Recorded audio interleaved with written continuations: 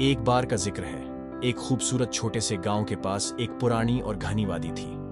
वादी में हर तरह के परंदे रहते थे, मगर सबसे मशहूर चमचम चड़िया और काकी कवा थे। दोनों की दोस्ती जंगल भर में मशहूर थी।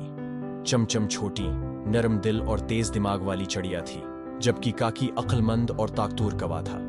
दोनों हमेशा मिलकर मसीलों का हल निकालते और जंगल के दूसरे परंदों की मदद करते। एक दिन चमचम और काकी ने जंगल के एक नए इलाके की सीर करने का फैसला किया।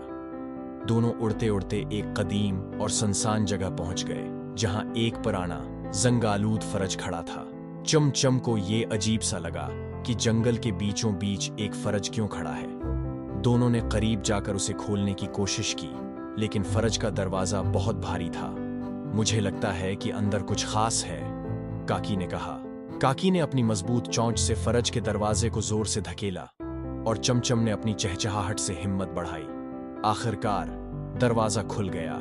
अंदर का मंजर देखकर दोनों हैरान रह गए। फरज के अंदर एक परंदे का घोंसला था, जिसमें चमकदार नीले रंग के अंडे रखे थे। चमचम ने खुश होकर कहा यह किसी परंदे का घोंसला है। हमें उन अंडों की हिफाजत करनी होगी, वरना कोई शिकारी उन्हें नुकसान पहुँचा सकता है। काकी ने गौर से देखा और कहा ये काम आसान नहीं होगा, मगर हम मिलकर उन अंडों की हिफाजत करेंगे। चमचम और काकी ने फैसला किया कि वो बारी बारी घोंसले की निगरानी करेंगे। चमचम दिन में अंडों का ख्याल रखती और काकी रात को पहरा देता। दोनों ने मिलकर ऐसे वक्त गुजारा कि अंडों को कोई नुकसान न पहुँचे।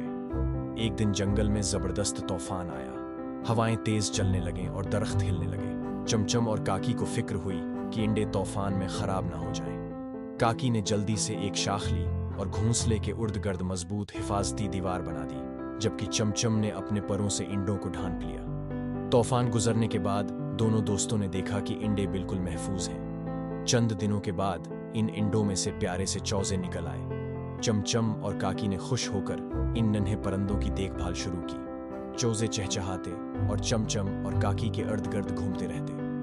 चमचम ने मुस्कुराते हुए कहा हमारी मेहनत ने उन नन्हे परंदों की ज़िंदगी बचाई, काकी ने सिर हिलाकर कहा, यही सच्ची दोस्ती की ताकत है। जब हम मिलकर किसी काम को करते हैं तो हम हर मुश्किल को पार कर सकते हैं। कहानी का सबक, दोस्ती और इतिहाद में बड़ी ताकत होती है। जब हम मिलकर काम करते हैं और एक दूसरे का साथ देते हैं तो हम हर मुश्किल को आसानी से हल कर सकते हैं।